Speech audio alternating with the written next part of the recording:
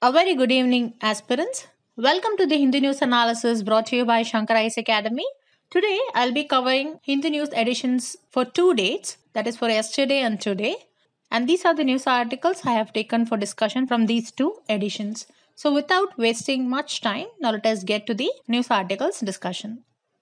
So, let us start our news article discussion session with this news article which appeared yesterday in the Science and Tech page. This particular article talks about compound extreme events. See, extreme event is an unexpected or unseasonal weather event. And when two extreme events happen together, we call it as compound extreme event. And this article talks about one such compound extreme event that happened in May 2020 in the Bay of Bengal. Here, the article is talking about the co occurrence of super cyclone Amphan along with marine heat wave. Especially, the article looks at how marine heat wave amplified a tropical cyclone into a super cyclone. So, we can say that marine heat wave was one of the reasons for super cyclone Amphan. So, in this context, let us see a few facts about marine heat waves. We have all heard about heat waves, right? Normally, heat waves are associated with extended periods of hot weather conditions. But the heat waves which we normally discuss are the ones that occur in the atmosphere. But the same heat waves can also occur in the ocean. And when they occur in the ocean, we call it as marine heat waves or in short MHWs. Particularly, it is called as a marine heat wave when the seawater temperatures exceed a seasonally varying threshold for at least 5 consecutive days.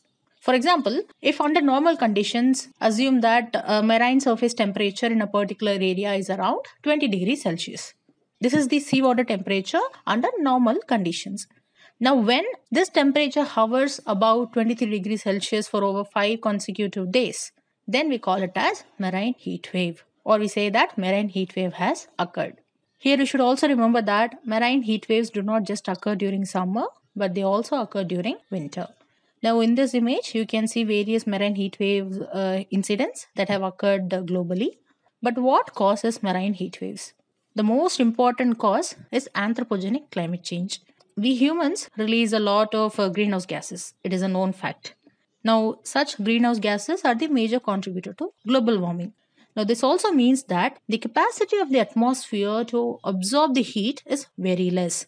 Now, what this has led to is more than 90% of the extra heat that has been trapped in the climate system due to the climate change has been absorbed by the oceans. This was found by various IPCC reports, that is, uh, Intergovernmental Panel on Climate Change reports.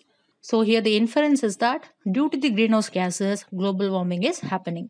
Now, this is warming the ocean water from its surface to the higher depths. Apart from climate change, there are also other reasons. For example, ocean currents are also one of the reasons. Some ocean currents can result in buildup of warm water in a particular area. Then events like El Nino might also trigger marine heat waves in specific areas. Along with that, winds also have potential to trigger marine heat waves in some areas. But also remember that on some occasions, these winds also help in dissipating marine heat waves. So, overall, the causes of marine heat waves are anthropogenic climate change, ocean currents, climatic events like El Nino, and then winds. Now, the news article talks about a marine heat wave study, but why that study is important for India? See, various studies have shown that due to global warming, the surface of tropical Indian Ocean is warming at a faster rate as compared to the rest of the global ocean. And we also know that Bay of Bengal is prone to tropical cyclones. Actually, around 5 to 7 percentage of the total number of tropical cyclones that occur globally each year happens in Bay of Bengal. It is because Bay of Bengal provides certain favorable conditions for the formation of tropical cyclones. Now, when these favorable conditions combine with marine heat waves, the studies say that it might trigger compound extreme events. Now, this is an issue because the areas that surround uh, Bay of Bengal are densely populated, and therefore the impact of such compound extreme events will be devastating. And this is why marine heat wave studies are important for India. So in this discussion, we saw what are marine heat waves. Initially, we saw that marine heat waves led to the building of a tropical cyclone Amphan into a super cyclone Amphan. And then we also saw the causes behind the marine heat waves. With these points in mind, now let us get to the next discussion. So now let us take up this FAQ article. This one appeared in yesterday's newspaper. This FAQ has been written based on the recently released Periodic Labor Force Survey annual report. See, the problem was this report has been criticized by experts who have raised questions over the approach and methodology used in this survey. So, today let us see certain crucial findings of this annual report and we'll also see what were the issues cited. Before that, the syllabus relevant to this discussion is given here. Now, let us start with knowing some basic facts about uh, PLFS, Periodic Labor Force Survey, See, it is released by the National Statistical Office. As you know, this one functions under the Union Ministry of Statistics and Program Implementation.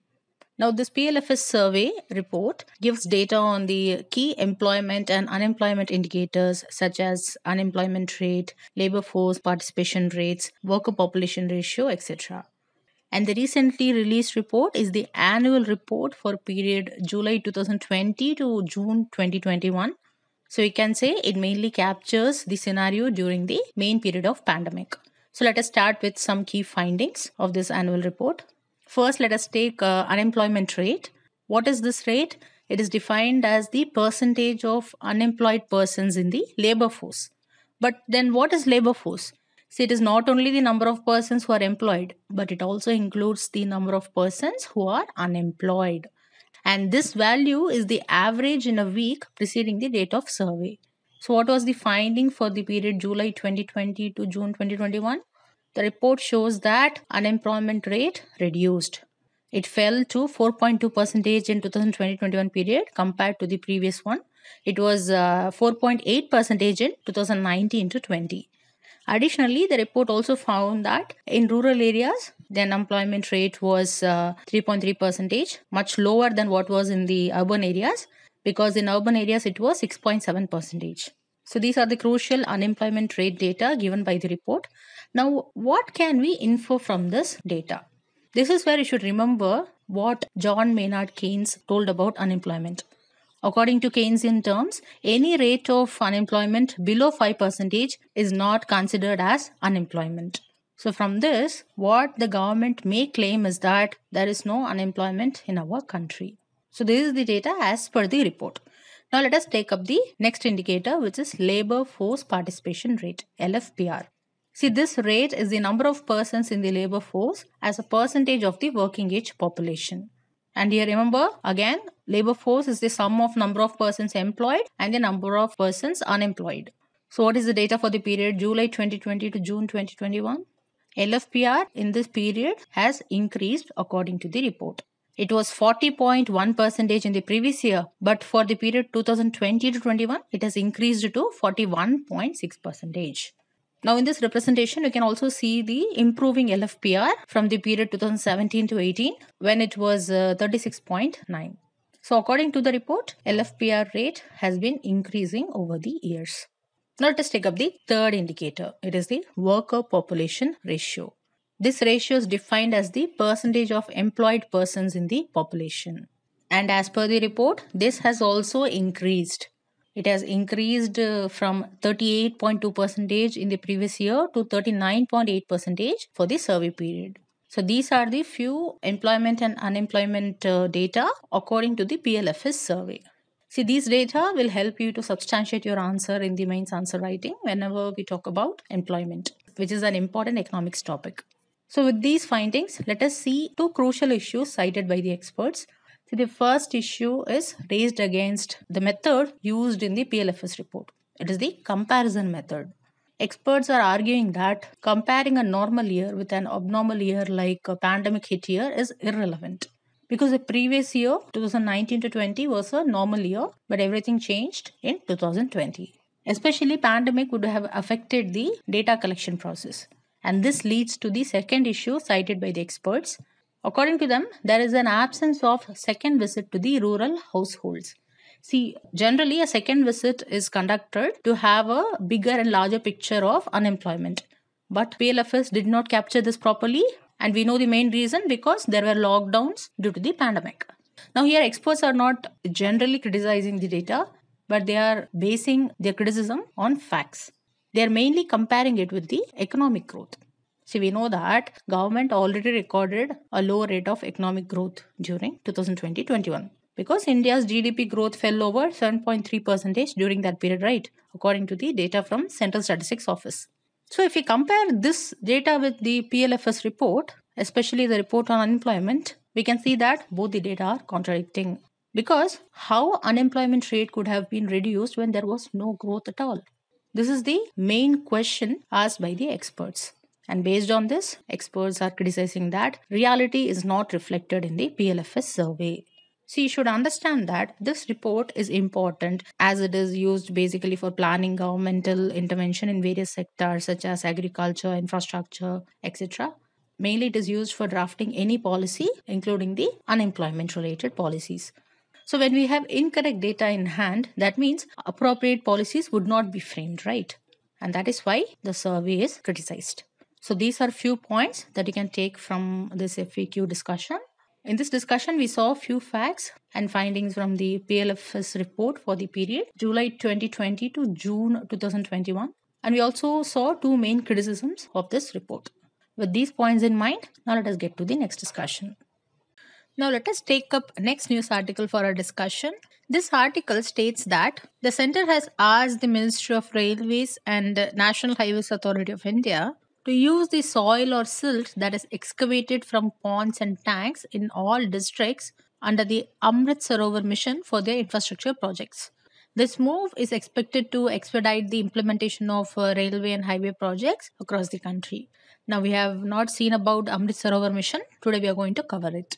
This mission was launched by our Prime Minister on 24th April 2022 with a view to conserve water for the future.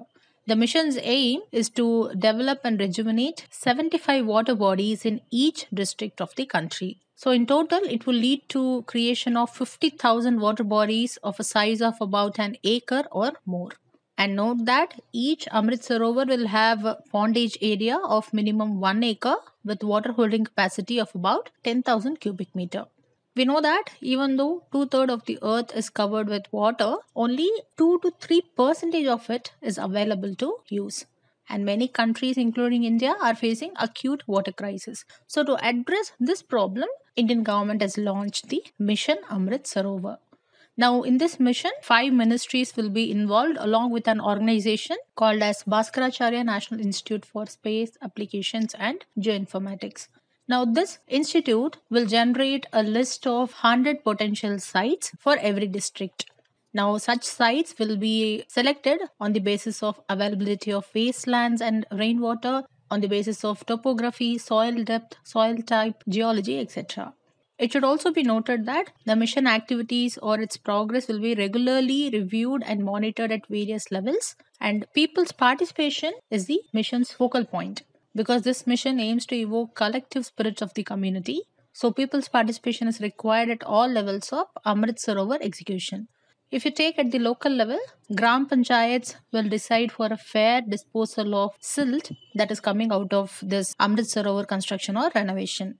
Along with that, the site of Amrit Sarovars will be approved by special Gram Sabha and this Gram Sabha will also name a Panchayat Pratinidhi who will act as a citizen supervisor and that citizen supervisor will be supervising the Amrit Sarovars.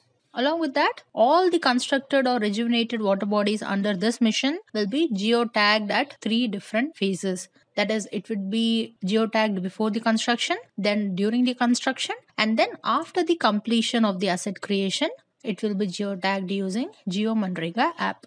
Now, this vision is being implemented at Godspeed. Actually, already India's first Amrit Sarovar was uh, inaugurated last month. It was inaugurated at Rampur in Uttar Pradesh. So, these are a few points that you have to note about Amrit Sarovar mission. Now, let us get to the next discussion. So, now let us take up this article for discussion.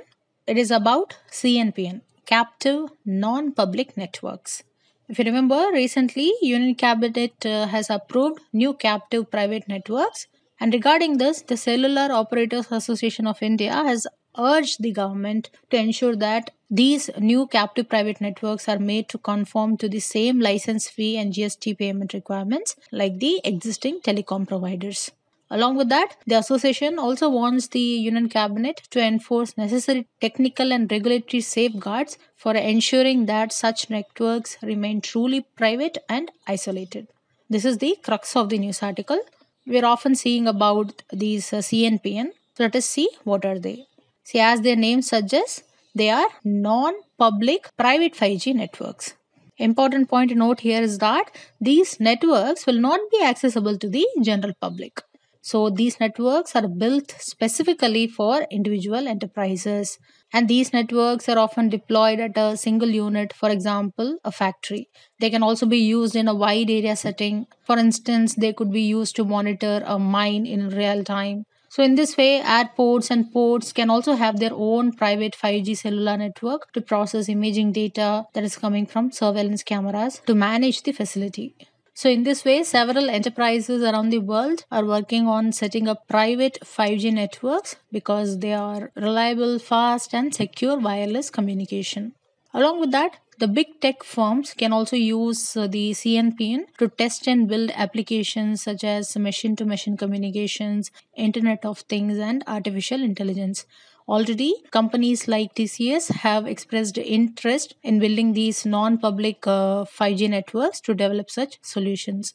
Mainly, these big tech firms claim that the CNPN private network would further provide an additional source of revenue for the government because they will be paying uh, license fees and they'll be paying administrative costs for the spectrum allocated to them.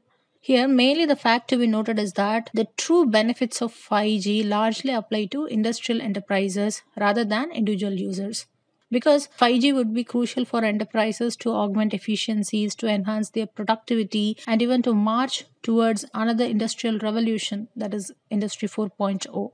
So, in this way, 5G will help India become a global manufacturing and supply chain hub. But why telecom companies are opposing the CNPN? As we already saw, 5G technology has more industry use cases than individual customers. So now the telcos are worried that that is the telecom companies are worried that providing the industry's 5G spectrum allocation to set up private networks will diminish their own revenue from the 5G cellular services.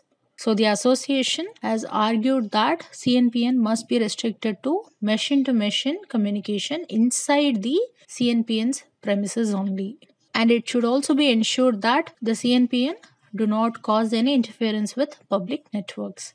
These are the demands of telcos. Okay, with this, we are finishing this discussion. Now let us get to the next one. So now let us take up this article. This one talks about India Bangladesh river management. See, recently the seventh round of India Bangladesh Joint Consultative Commission happened. And in that, it was noted that India and Bangladesh should work together for comprehensive management of rivers. Along with this, Bangladesh also emphasized on receiving a fair share from Teesta River. So, majorly, they talked about India Bangladesh river disputes and management. In this manner, today we are going to see the two river disputes or managements between India and Bangladesh. But before that, you should know that this problem arises due to the presence of transboundary river between India and Bangladesh. What is a transboundary river? It is the one that crosses at least one political border. And such a border could be within a nation or it could be an international boundary also, like in the case of India and Bangladesh.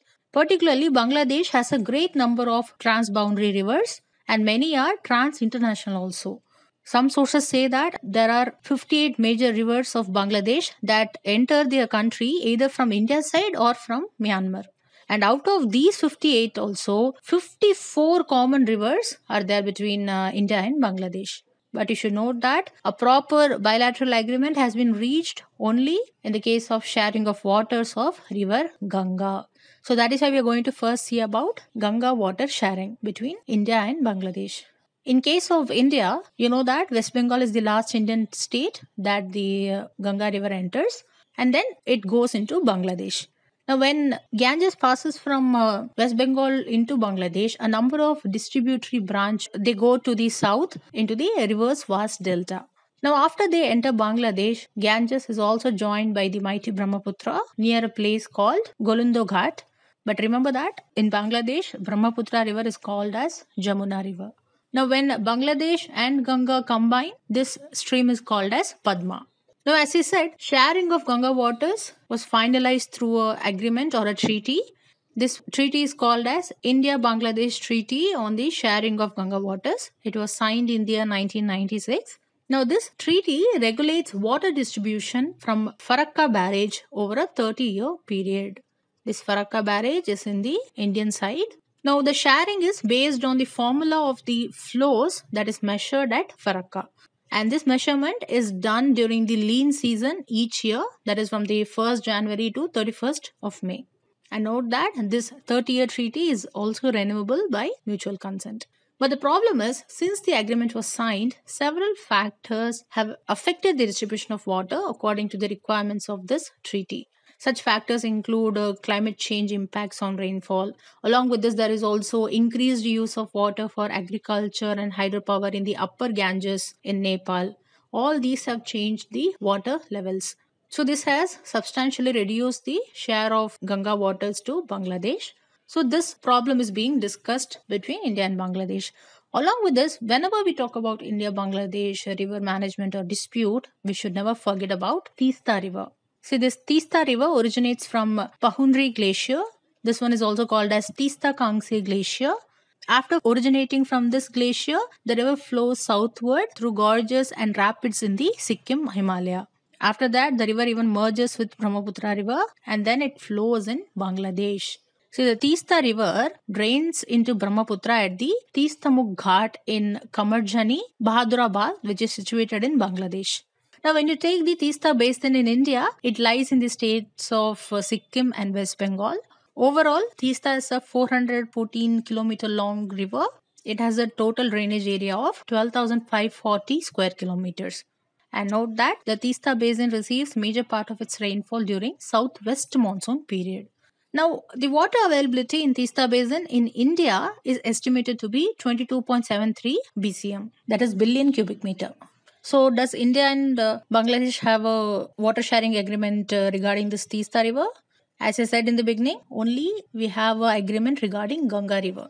But uh, there is an ad hoc arrangement for this Teesta River. This ad hoc arrangement was arrived through the India Bangladesh Joint Rivers Commission, and this arrangement was made in 1983.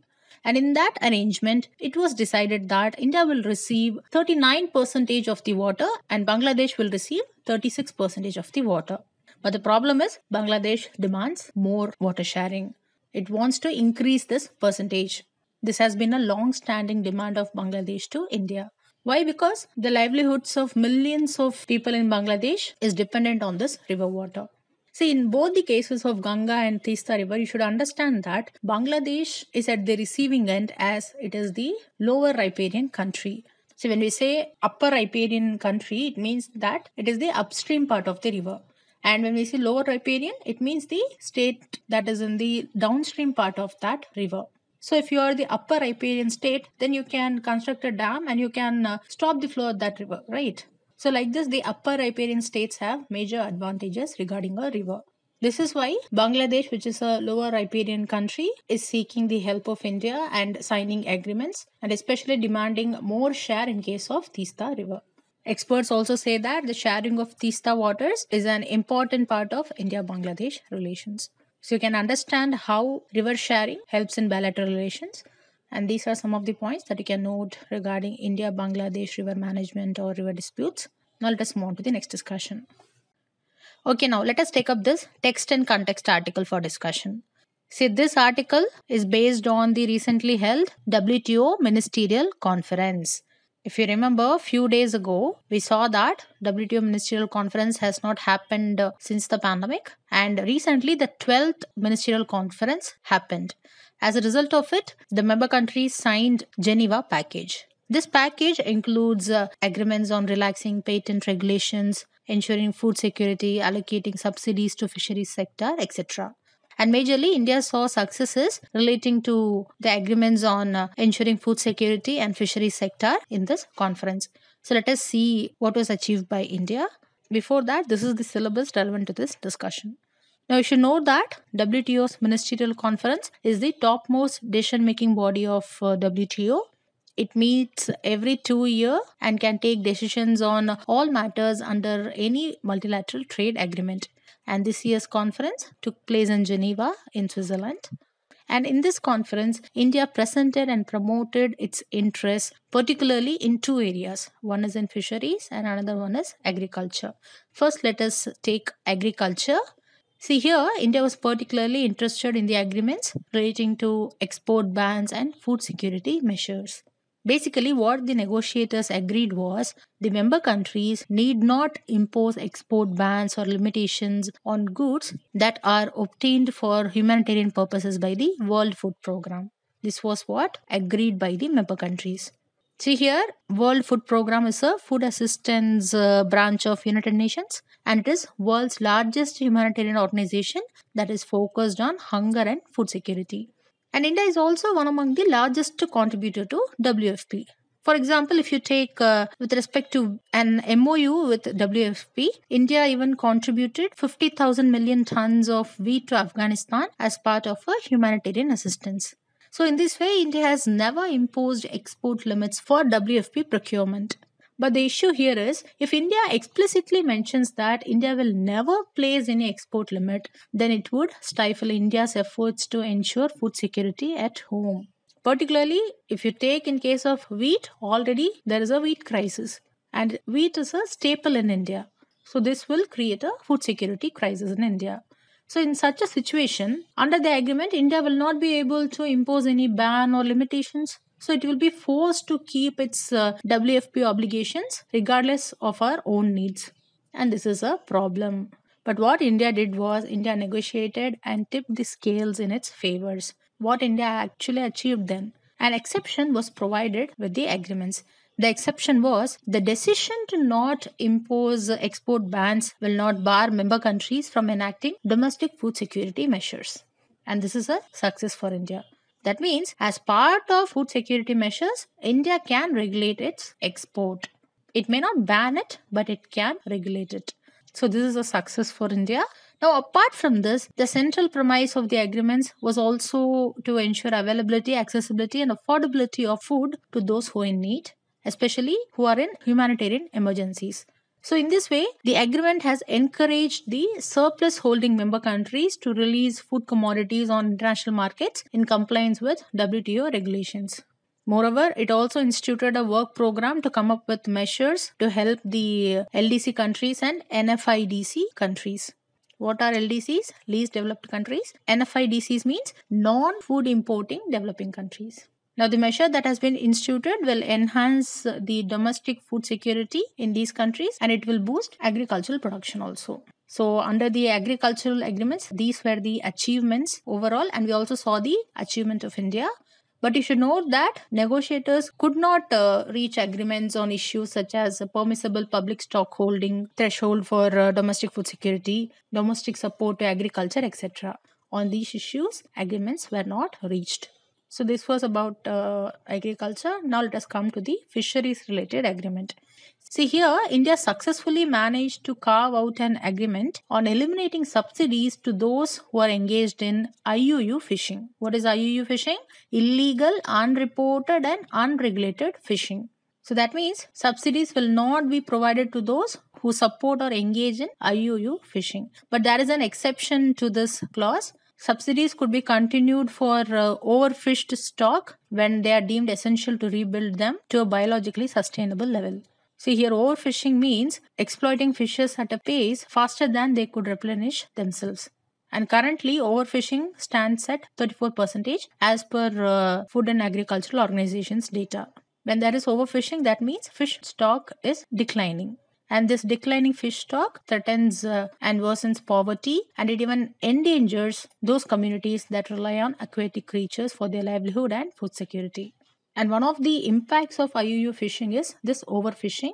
But still when such overfishing is deemed essential to rebuild uh, the fishing stock to a biologically sustainable level then at that time subsidies will be allowed. Other than that subsidies are eliminated as per the fisheries agreement Along with this, there is no limitation on subsidies that are granted or maintained by developing or least developed countries for fishing within their own EEZs, that is, exclusive economic zones. So these were the two main achievements of India in agriculture and fisheries that has been discussed in this text and context article. In the coming days, we may see many other uh, important provisions in the Geneva package. When that comes, we'll discuss them.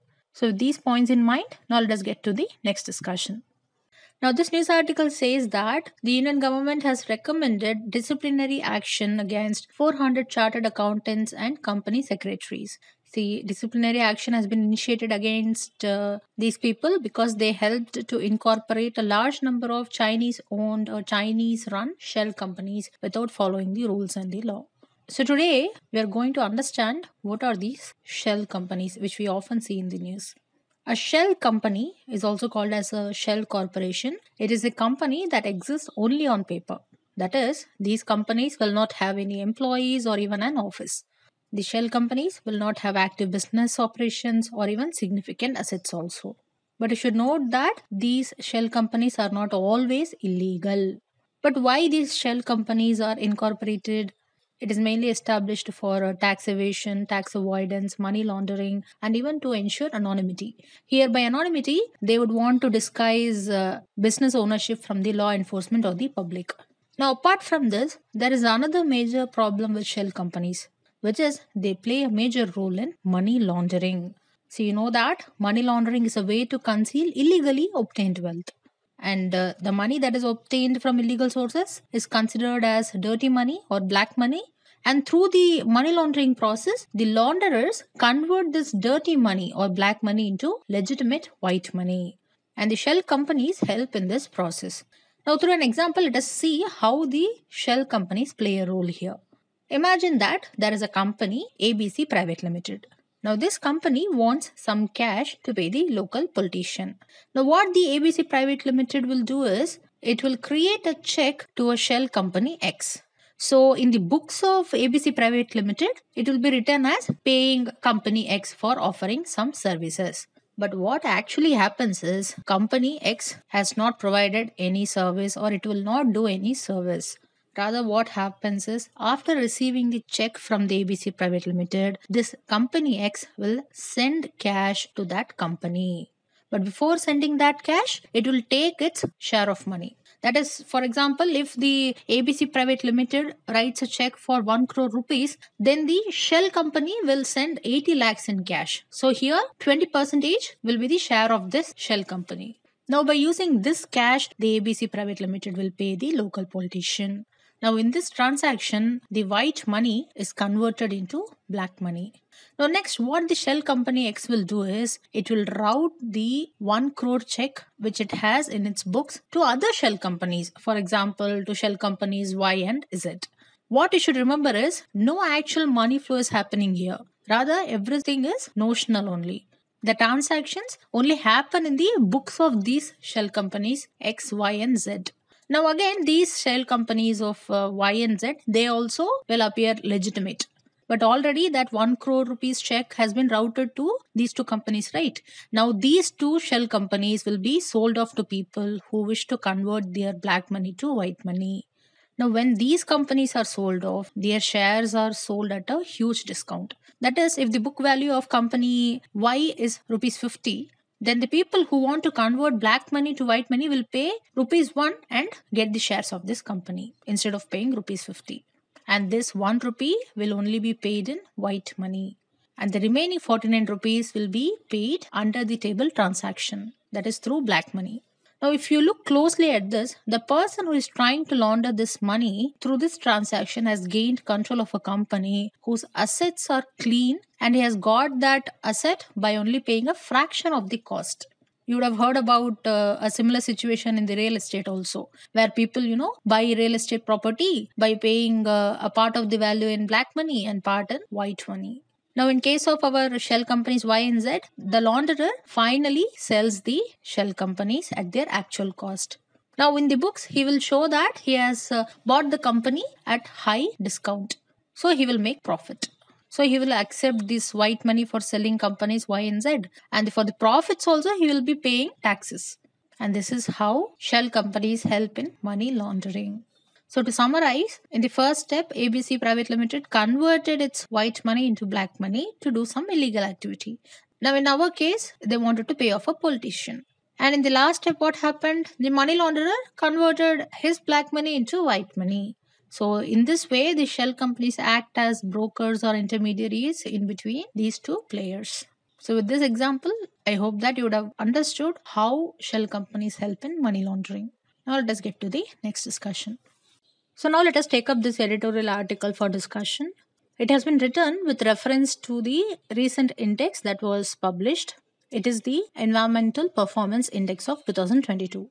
Now, this index placed India in the last position, and because of this, the report has become controversial it has also been criticized for prioritizing certain indicators than others, like it prioritizes the flow of greenhouse gases from countries.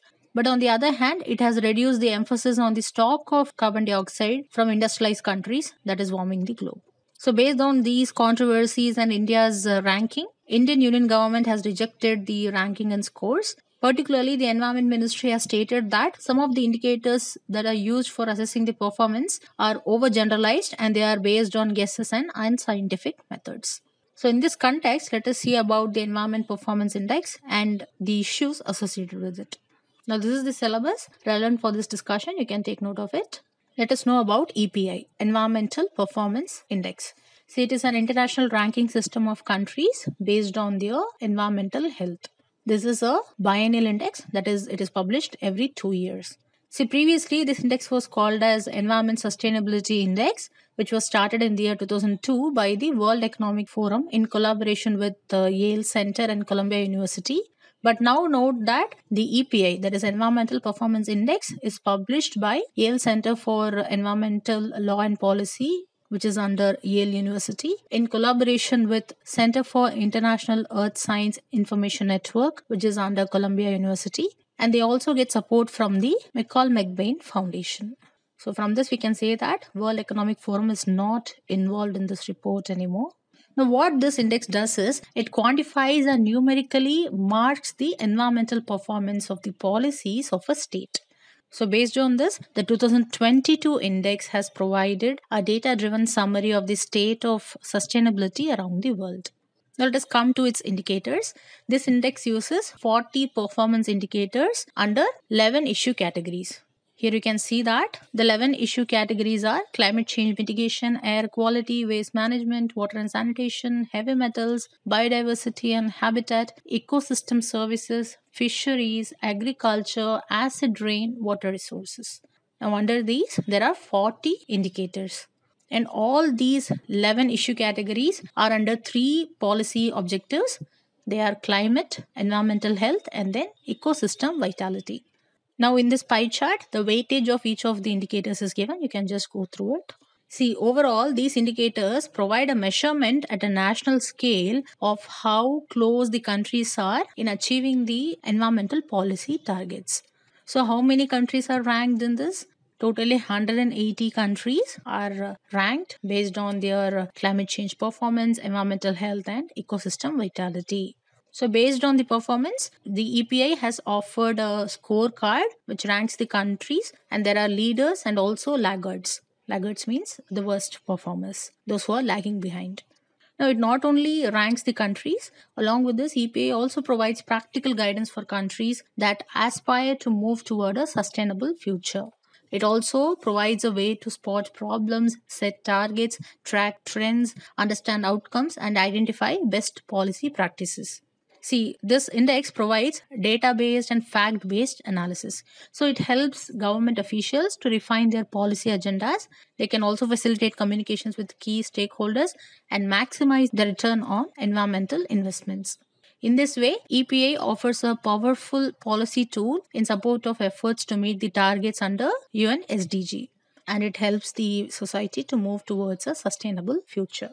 Now let us come to the 2022 rankings. See, as usual, Denmark has topped this ranking also. It is followed by United Kingdom and Finland. In many indices, we have seen that Nordic countries like uh, Denmark, Sweden are in the top always. Now let us come to India. See, as I said in the beginning, India is at the last position of 180 countries. That is, it has got the 180th rank. It has a score of 18.9. So, according to the index, India's performance is even worse than our neighbors like Pakistan, Bangladesh, Vietnam, and Myanmar. But as I already said, the EPA ranking and scores have been rejected by the Union government. So let us see what were the issues cited by the Union government and what are the reasons provided by the Environment Ministry for rejecting the report. The first issue cited is with respect to the projected GHG emissions level in 2050. You can see that it comes under the climate change mitigation. Now, this indicator is computed based on just the average rate of change in emission of the last 10 years. This is where the ministry differs. The ministry is of the opinion that the indicator should take into account a larger time period. Along with this, the extent of renewable energy capacity and its use, additional carbon sinks, energy efficiency, all should be taken into account to calculate average rate of change in emission. In addition to this, it should also be noted that forests and wetlands of our country are crucial carbon sinks, but they have not been included while computing the projected uh, GHG emissions trajectory up to 2050. Along with this, historical data on the lowest emissions trajectory has also been ignored in the computation. So, overall, the important factors that should have been included while calculating average rate of change in emission has been totally ignored according to the union government. Now, with respect to the projected GHG emissions, the government has also noted that India's score in this indicator should not be low because India has set a net zero target for 2070 only, whereas developed countries have set the target for 2050 itself. So, citing this reason also, government is arguing that India's score should have been adjusted according to it. Let us come to the second reason it is about the ecosystems. See, the index computes the extent of ecosystems, but it does not include the condition or productivity of such ecosystems. For example, it does not include indicators like uh, agro biodiversity, soil health, food loss, and waste. These are all important for developing countries with large agrarian populations like India. So just having ecosystems is not important, but how good is their condition and their productivity is also important according to Indian government. And these are not included in the index. And that is why India is rejecting these scores. Now, next problem is directly with the indicators itself, especially with their weightage. According to the ministry, the weight of the indicators in which India performed well has been reduced in this year and even the reason for such a change has not been explained in the report.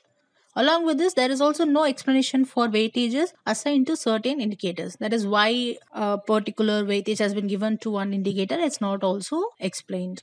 Here, the Indian government is arguing that comparing countries without knowing the explanation for weightages will be like comparing apples to oranges rather than comparing apples to apples. So, mainly the shift in weightage of many indicators has resulted in India's low ranking according to the Indian government. For example, if you take uh, black carbon growth, India's score actually improved in the year 2022. It was uh, 32 in the year 2020, but now our score is 100 in 2022. That is, we have achieved the top score but still, India's ranking is low because the weightage of this indicator has been reduced from 0.018 to 0.0038. Like this, the weightage of many indicators have been changed and no reasons have been given for such change. So this has affected the India's ranking. Now, finally, the government has also objected to the index emphasis on extent of protected areas rather than the quality of protection that they afford. That is, government is arguing that the computation of biodiversity indices does not consider the management effectiveness of the protected areas in our country. Rather, it just considers the extent of ecosystems. See, offering good protection to the protected areas and management effectiveness is important in the long run because they only help in conserving that biodiversity. But this has not been factored in while computing the biodiversity indices. So this is also cited by the Indian government. Overall, India has cited three to four problems in the indices. Now, despite these issues, experts have noted that the environmental concerns that have been flagged in this index are very much real. This is because we should remember that India was at 168th rank in 2020 and now we are at 180th rank. So, this shows that even though India's rank has worsened, it has never been in the top ranking countries. Actually, India has never been in the top 150 itself. So based on this, author has uh, provided certain suggestion like we have to accept that there is a need for a greater attention on critical issues such as uh, air and water quality, biodiversity and climate change. We should also immediately reduce uh, the carbon intensity of our economy. India should also go for large scale and long term science based ecological restoration of all our diverse ecosystems. So, if India work towards its listed out targets, it will help India to get a better score next year. So, these are some of the points that you have to note from this discussion on Environmental Performance Index. So, with this news article discussion, we are going to the last session for the day, which is the practice questions discussion session. Let us take up the first question. Which of the following are the impacts of marine heat waves? The options given are coral bleaching, mass mortality of marine organisms, increased frequency of extreme weather events, food web disruptions. See, marine heat waves means higher water temperatures. Now, these higher water temperatures cause extreme weather events such as tropical storms and hurricanes. We saw this during the discussion itself. And they also disrupt the water cycle. They cause floods, droughts, and even wildfires. Other than that, they also have other socioeconomic impacts for coastal communities. For example, it affects aquaculture because it requires water temperature to remain suitable for farmed species.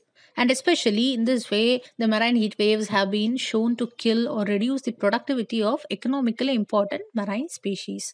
They have been especially associated with the mass mortality of marine invertebrates and it even forces the species to change their behavior in a way that puts wildlife at increased risk of harm. And these changing conditions also help the invasive alien species to spread. So, in this way, it also affects the marine food webs. Along with that, you should know that there are certain species which are sensitive to marine heat waves, and mainly it includes uh, marine ecosystems like uh, seagrass meadows and coral reefs. So, coral reefs are affected by it as these high temperatures cause coral bleaching. Another problem with the marine heat waves is that they occur alongside with other stressors such as uh, ocean acidification, deoxygenation, and overfishing. So, in such cases, when marine heat waves also occur, they increase the risks of deoxygenation and acidification. So, in this way, also, marine uh, species and animals are highly affected. So if you look at the given options, all these are impacts of marine heat waves and that is why the correct answer is option A, all of the above. Now let us take up the next question. Which of the following states are drained by River Ganga? Uttarakhand, Chhattisgarh, Haryana, Punjab. Now, the states that are drained by Ganga are Uttarakhand, UP, MP, Rajasthan, Haryana, Himachal Pradesh, Chhattisgarh, Jharkhand, Bihar, West Bengal, and Delhi. But Punjab is not in the list. Punjab has only two rivers one is Sutlej and other one is Beas.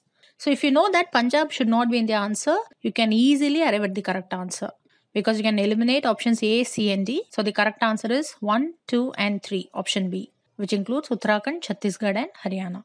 Now let us take up the next question. It is a two statement question. First statement Ministerial Conference is the topmost decision making body of WTO.